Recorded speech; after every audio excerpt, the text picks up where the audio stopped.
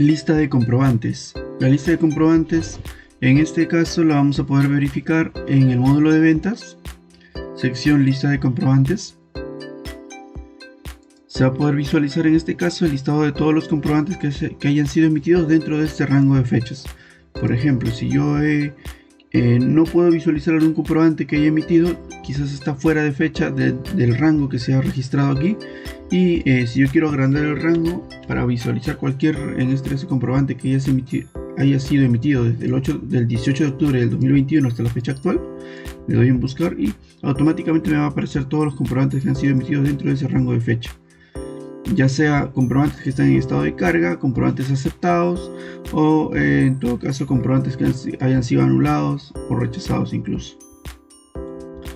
Eh, dentro de lo que es el tema del listado de comprobantes, nos, va a mostrar en este caso la información general del comprobante, tanto la serie correlativo, los montos totales de la cabecera y el estado SUNAT. Cuando un comprobante ha sido, en este caso, emitido y está en estado de carga, el sistema da la opción de poder en la columna acciones anular ese comprobante antes de que se envíe a la SUNAT. Generar el reporte A4 y el reporte ticket. Esto sería para el caso de los comprobantes que están en carga. Ahora bien, cuando el comprobante haya sido emitido y aceptado correctamente en la SUNAT, como se ve en este caso, en este ejemplo,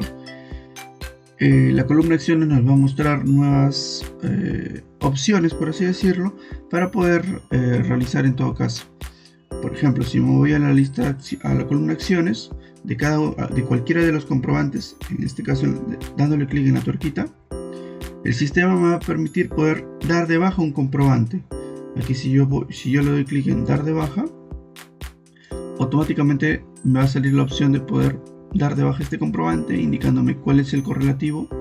la fecha de emisión y la fecha de anulación que es la fecha actual. El motivo sería aquí en todo caso indicar por qué razón se está dando de baja un comprobante.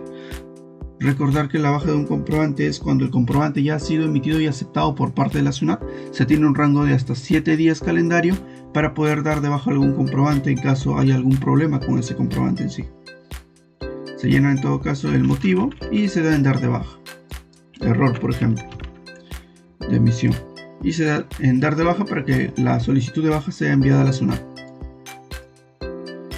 La otra opción es generar una nota de crédito desde la lista de comprobantes, que, es donde estamos en este momento. Generar directamente desde aquí la lista de nota de crédito o generar una nota de débito. Eh, también permite generar lo que son los reportes A4 y reporte ticket de ser necesario podemos enviar un correo electrónico con la información del comprobante y es el correo aquí tendríamos que poner la información del correo con copia a quienes iría el asunto y un mensaje en este caso en el cuerpo del correo. Luego se da en enviar para que sea enviado correctamente lo que también nos permite poder eh, descargar es el archivo CDR que es la respuesta de aceptación por parte de la SUNAT del comprobante que se ha emitido y también permite descargar el archivo XML, que es el, archivo que generamos nosotros, en todo caso, a la hora de que se envíe el comprobante a la zona. Eso, eso sería todo en el tema de eh, eh, listado de comprobantes.